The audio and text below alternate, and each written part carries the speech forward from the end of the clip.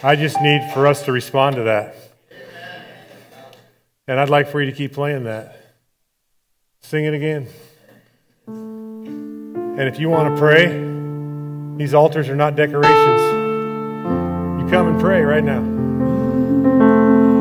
Let's put feet to that song. Let's put meaning to that song.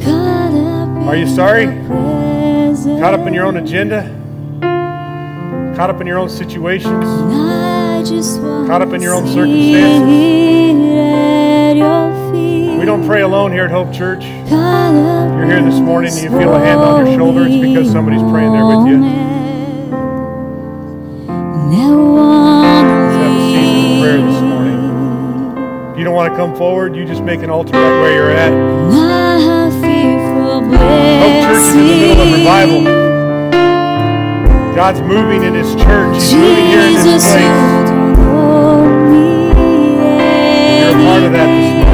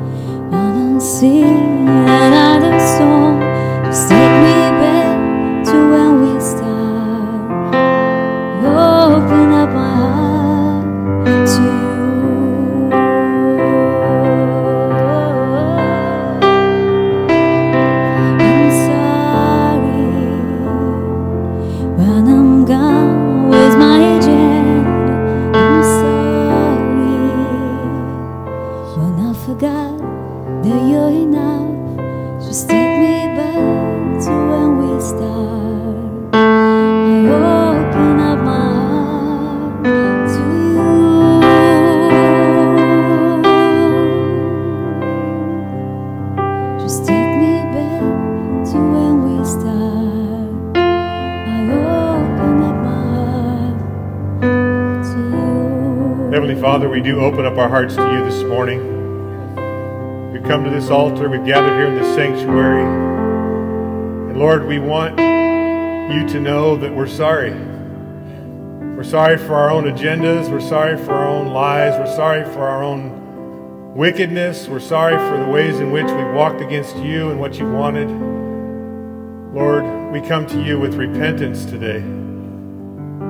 But Lord, we also come to you with a, a sense of confidence and assurance that you love us and that you're here with us and you're here for us. And for each person that's kneeling at this altar, for each person that's sitting here in this sanctuary, for each person that might be watching online, Lord, we're here because we know you have the answers that we need. We're not just praying to these four walls, but we're praying in the very throne room of heaven this morning. And we're calling on the hosts of heaven. We're calling on the deliverance that comes and the victory that comes from heaven this morning. And Lord, we're looking forward with confidence, knowing that you're going to answer, not just hear our prayers, but answer our prayers. And even right now, you're beginning the miracle in our own lives, in our own hearts, and in our own situations, Lord.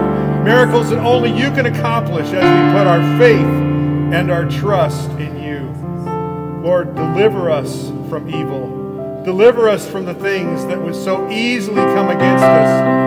And Lord, in the powerful name of Jesus and by his shed blood, we rebuke the forces of darkness that would come against us. And we ask for your deliverance and for your blessing this morning over every person in this sanctuary.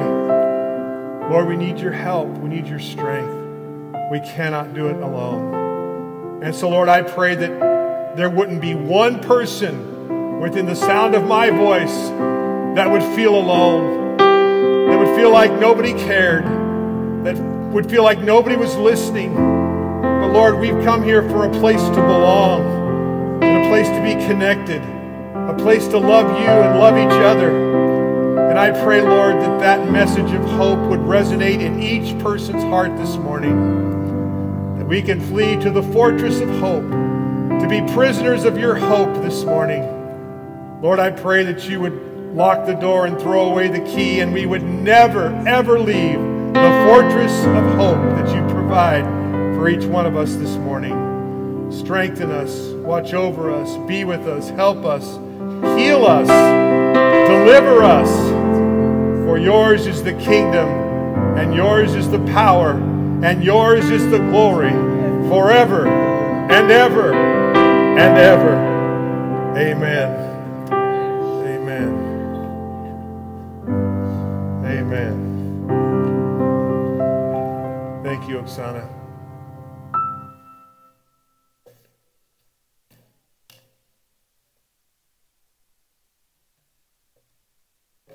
For those of you watching online, we welcome you this morning. We're so thankful that you're here with us and glad that you could join us.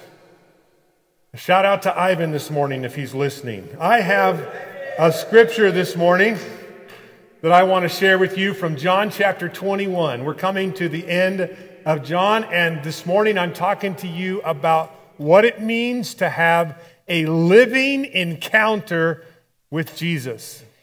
Every person in this sanctuary, including myself, needs to have a living encounter with Jesus where you know that this is real. This is not just a story told from the ancient dusty pages of a forgotten tome in some library that nobody cares about. The Word of God is living and powerful and sharper than any two edged sword, dividing asunder of soul and spirit, of joints and marrow, of mind and body. And unless we have a living encounter with Jesus, we'll never understand what it means to live for Jesus, to be His disciple, and to understand what that looks like. And in John chapter 21, there's this great story, hilarious story Wonderful story, transformational story. The story of the disciples after Jesus has died on the cross. They decide, seven of them, to go back to what they knew best. They went back to fishing. How many of you have ever been fishing before? All right, so we're in a group of fishermen, fisherwomen here this morning. Have you ever fished and not caught a thing? I mean, the only bite you got was the rocks on the bottom that your sinker would grab onto, and you'd lose your bait, and then you'd have to restring, and you're back at it again. And you always want to say, when you get done fishing, well, I got a couple bites. You know, anybody who hasn't seen a thing or felt a thing always says, well, you know, I got a couple bites. That was about it. Well, these seven men discouraged, despondent, not sure what the future would hold. After Jesus had died and all that had gone along with that, they decided to go back to fishing. And seven of them got on this little fishing boat, and they went out on that sea of Galilee there, and, uh, and they began to fish, and they began to fish and fish and fish and fish. The evening came and went. Midnight came and went, and still they fished. All through the night they fished, and not a thing. Finally, in the morning, they're headed back to shore. They get about a hundred yards from shore, and they hear a voice calling from a figure standing on the shore. A voice they didn't recognize at first, with a very simple question Have you caught any fish? You know, those seven guys, this was the last thing they wanted to hear and the last thing they wanted to say. The last thing they wanted anybody to hear is that they didn't know how to fish and hadn't caught a thing. and the second thing they didn't want to do is admit it. But yet they answered back to that figure on the shore no. And that figure on the shore, 100 yards away, said one of the most ridiculous things that you could ever imagine. You know, those little fishing boats that they were in were probably only about eight feet wide. The nets that they cast out only went about 10 feet or so off the side of the boat. And that figure on the shore called out to them and said, Throw your nets on the other side. Now, I'm sure there was at least one guy on that boat that said, Look, we've been fishing all night long. We know what we're doing. There's no fish here. It wouldn't matter if we sailed all the way to the north end of the Sea of Galilee. There's certainly not going to be any fish less than 15 feet from where we just threw the nets. We're almost to shore. Let's just go to shore. We've done enough damage for one night. I'm done. I'm tired. This isn't working. And yet, at least a couple of the disciples said, Well, you know what? What's it going to hurt? I mean, we've got the nets, we've got the boats, we're in the water. There's seven of us here. What do you say we just give it a try? And so a couple of them got on the other side of the boat. They got that net all strung out, the weights all just where they needed to do, and then they cast that net. And wouldn't you know it? The biggest, baddest, largest fish in the whole Sea of Galilee were waiting less than 15 feet from their boat. They began to pull that in and it says the number of fish there in your text over a hundred of the largest fish that any of them had ever seen. I believe the actual number was 153 for those of you who are keeping track. I don't know if you've ever caught one big three or four pound fish, but just one of those fish would have probably been enough to feed all seven of them for dinner. They didn't just have one, they didn't just have two, they just didn't have 10 or 50 or 75 or 100. 153 of the largest fish that they'd ever seen. Matter of fact, it was so many fish that the boat began to sink. Now, Simon Peter was on that boat, and he heard one of the disciples say, That's got to be the Lord. In other words, there's nobody else in the world who would tell us to do something like that, and there's nobody else in the world where we get results like that. Simon Peter, he put on his outer garments, it said, and he just dove in the water. It was only 100 feet to shore. He couldn't stand it anymore. He had to find out if it was Jesus. And when he got to the shore, Jesus was standing there next to a fire that already had fish on it and bread. And he said, What do you say we sit down and have some breakfast? Now, there's three principles that I want to draw out of this story that I think are very pertinent to us and where we're living in our lives right now. And the first story is this even at our best, when we're trying with all that we know, sometimes we come up empty. Have you worked as hard as you could at something or in a situation as best you could, and it just seems like nothing is bearing fruit? you're not getting any results at all from what you're trying so hard to do. You just come up empty. Maybe in your life, you've been fishing all night long and you feel like you're up against it. And you don't know what the situation is going to be, and you don't know what the circumstances are going to be. I watched a movie recently about a young lady who was going through some terrible circumstances in her life. She'd grown up in a very difficult place, very difficult area of, of the community. Her father had left when she was so young she didn't even remember who he was. Her mother had died at an early age. Her brothers and sisters, one of them had passed away, and the other one had moved out of state and didn't know where she was, didn't know anything about her. She was literally alone. As a young woman, she, not knowing what to do, did what she could, was in an abusive relationship. And her boyfriend, after she came home work from night from one night, beat her up so bad she didn't know what to do.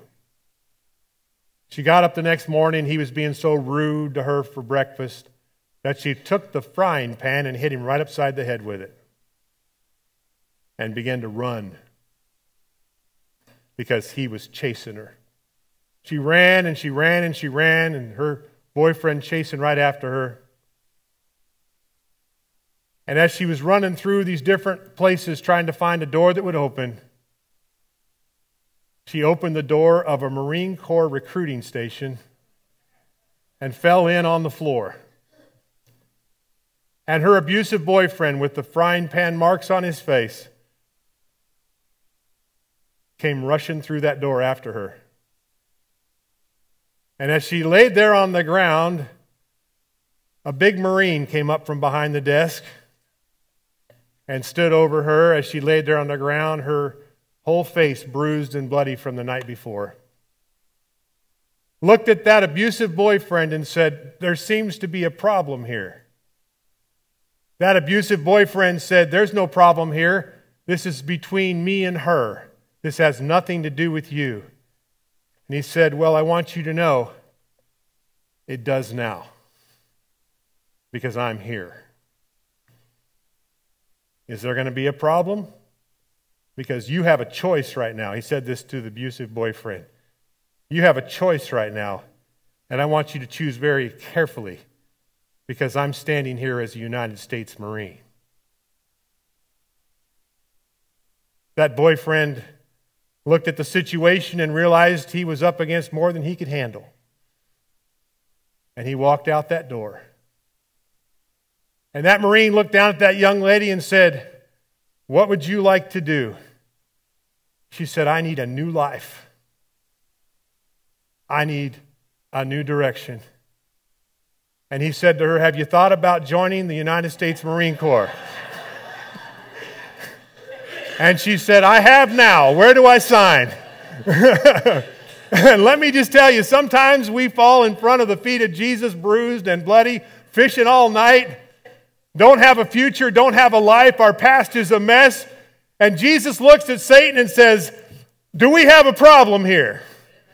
Because I have somebody who wants to change, who wants a new life and a new direction and a new way of thinking. And let me tell you something the Marine Corps will give you a new way of thinking. Once you join the Marine Corps, you're all in. You're the property of the United States government. You will do as they say and go where they say to go. But the point of the story is she had found deliverance in the most unlikely of places. Some place she had never intended. But yet, what she found there was the watch, care, and protection of a man of honor and integrity. A man who, for whom the principles of honor and integrity and caring for the weak and those that everybody else walks by was a part of his creed and who he was as a man. Let me tell you something Jesus cares about the people that everybody else walks by too. And he's here with us right now. And if your best has done nothing but come up empty, I want you to know this if you begin to walk with the people of God and you begin to join in with what we're doing and where we're headed and how we're living and how things are going, your life will change. And if you listen to the voice of Jesus as he speaks in his still small voice into your spirit and into your life, you might hear these words yourself. Put your nets on the other side. Because I don't know about you, but if I looked at the results of what they were coming up with, it was nothing. But yet, as soon as they decided to cast their nets on the side of Jesus, the side he wanted them to fish on, the direction he wanted them to go, all of a sudden they had more blessings than they could handle. And let me just tell you something I want to be on the side of Jesus. Because my second thought here is that Jesus provided for what they didn't have by using what they did have. They had a boat, they had the desire, they had the nets, they had the manpower, they just didn't have the blessing. let me just tell you something when you turn your life over to Jesus, He'll take everything you've got but then he'll add his blessing. And let me tell you something that blessing is something I refuse to live without. I want to open up my heart and my life in, in obedience to what he asks me to do in every area of my life and say, God, may there not be one obstacle to your blessing in my life. May you be able to pour into my life all the blessings that you want to pour in. And may I not let one thing in the way of that. And so, the question that I have for you this morning, and for myself, and for those watching online is very simple. What side are you on this morning? Jesus side. Amen. Who are you going to be listening to when that still small voice comes in? How are you going to be living your life? What's that going to look like? Are you going to be like Simon Peter and say, hey, boys, there's six of you. I'm out. The boat's sinking anyway. I'm headed to Jesus. Whatever that looks and whatever that means and however that's going to work out, I can't spend another second in this stupid boat. I'm gone. Which brings me to this thought. It doesn't take much of a person to follow Jesus, but it takes everything of him or her that there is. We don't have to have life figured out, we don't have to have all the problems figured out. The disciples still had the same problem. The problems of their life didn't magically disappear. Just because they had breakfast with Jesus doesn't mean they weren't going to be hungry again later. But when Jesus got them around that fire and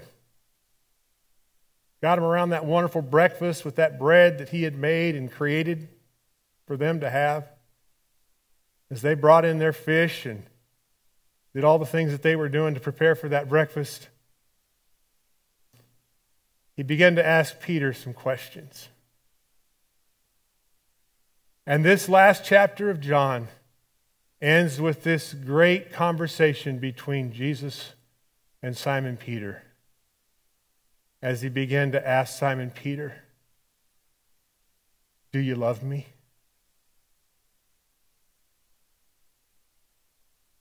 Of course, I love you, Simon Peter replied.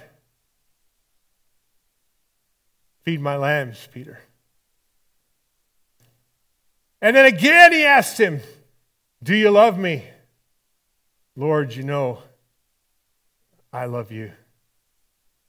Take care of my sheep, Peter. And again, Jesus is asking him, Simon Peter, do you love me? Lord, you know, and I'm grieved in my spirit as I answer, I love you. Feed my sheep, Jesus responded. To feed the lambs, the weakest and the most vulnerable. To take care of the sheep, to watch over those who were in the flock. To feed the sheep, to give them something that they could respond to and live towards. The message of the love of Jesus, the blessing of Jesus, the provision of Jesus. And as we talk here this morning, there's so many of us that have our own agenda. so many of us have our own ways of thinking about life. Some of us might say, well, I follow about 78.3% of the Bible. But there's some things that I just don't agree with, so, you know, sorry, Lord. You're on your own on that part. No, you're on your own at that part.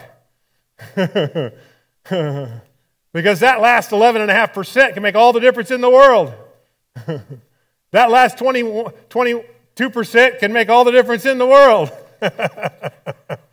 I'll get my math here straight in one of these days.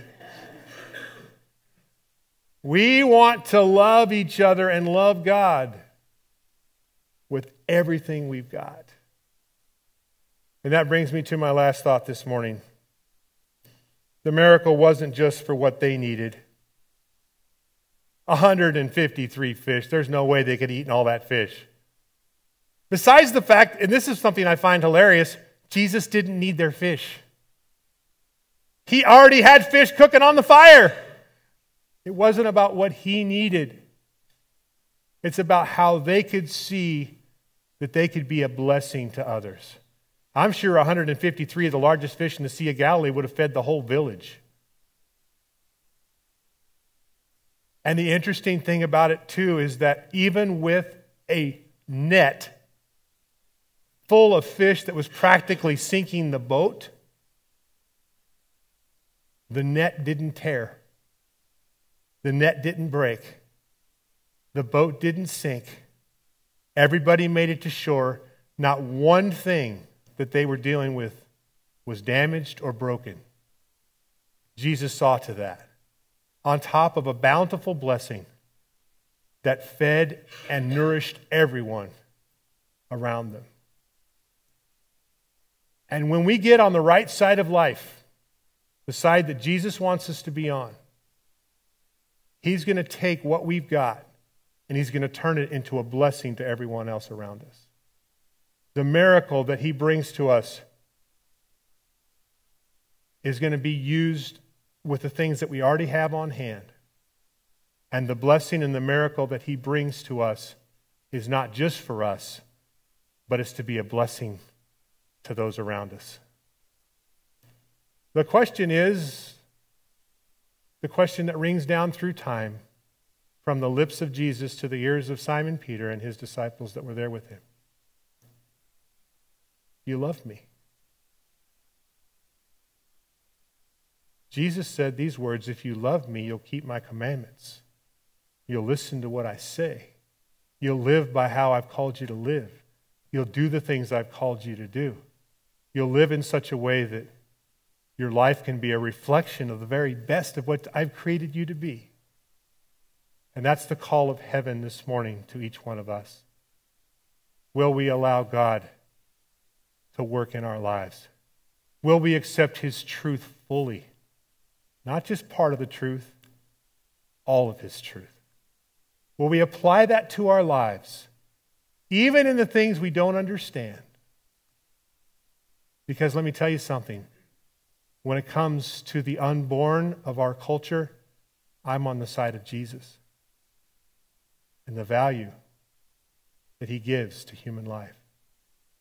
When it comes to the sanctity of marriage and the covenant of marriage between a man and a woman, I'm on the side of Jesus when he said, A man shall cleave to his wife and they shall become one flesh. When it comes to the principles of what it means to live the way God has called us to live and not abuse the alcohol and the drugs and all the stuff that's coming through our culture, I'm on the side of Jesus when he says we're better than that and we won't succumb to that, we won't do that. Now, I'm not saying alcohol is a sin, don't get me wrong. I'm saying that for some of us, we need to stay away from it. And I want us to understand and recognize that the principles that God has laid down and the way He's taught us to live, the people He's called us to be, is for our blessing, for what He wants for us. For those of you that may have been discouraged by life this week, for those of you that may be weary under the load, and you've been fishing all night, be listening for that still small voice from the shore of life to the sea of your chaos. Throw your net on the other side.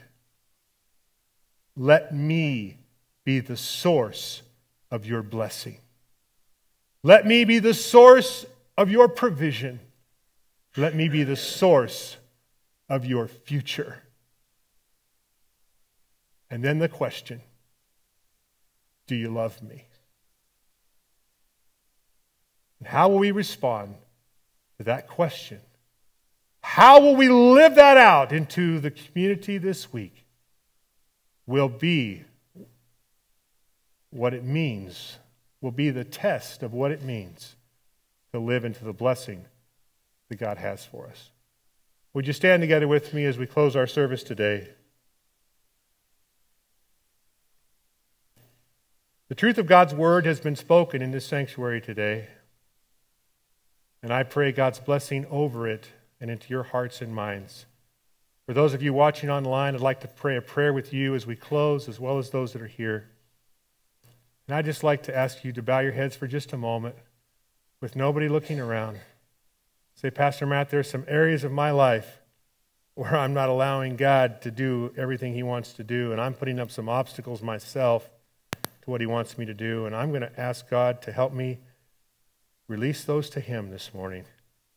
Would you just raise your hand so I can pray with you? Thank you. I see your hands. Thank you. I see your hands. Thank you. Thank you. I see your hands back there. Thank you. I see your hands back there. Thank you. I see your hands over there. Thank you. I see thank you. I see your hands back there in the back. God knows your heart. He knows what's going on in your life. And He is here in this place, in this sanctuary right now. Heavenly Father, as you walk through in the power of your Holy Spirit, the hearts and minds of each person watching online and each person here in this sanctuary, we proclaim that we are on the side of Jesus this morning. And we also repent for those areas of our life that we are struggling, where we are not allowing you to bless us the way you want to because of our own rebellion, our own sin, our own evil, our own suffering our own backgrounds, all the stuff that makes us who we are, our lack of ability to trust, our lack of ability to let go, our pride, our ego, all these things are wrapped up in this big mess of who we are. And so, Lord, we're calling on you and asking you to help us. We're asking you to be the answer that we need in these situations of life. Show us where to throw our nets, Lord. Help us to run towards you, and if we have to, swim towards you like Simon Peter did. Help us to have that same desire to be in your presence, Lord, and help us to learn how to love you with all of our hearts and all of our souls and all of our minds. Lord, I know that this is a difficult time in many people's lives and a lot going on. But Lord, in your strength and in your power, we ask for a miracle. A miracle that we can't accomplish by ourselves, but as we put our faith and trust in you, that you can accomplish through us and in us. Lord, I've tried to be faithful to your word this morning, and I ask you to bless my words and the anointing of the Holy Spirit into thoughts, into people's minds that have heard it that they would be blessed to live for you, that they would be blessed by you, that they would walk in this community of hope where everyone belongs and everyone is loved by you. And we pray all these things in Jesus' name. Amen. God bless you. May the Lord bless you and keep you.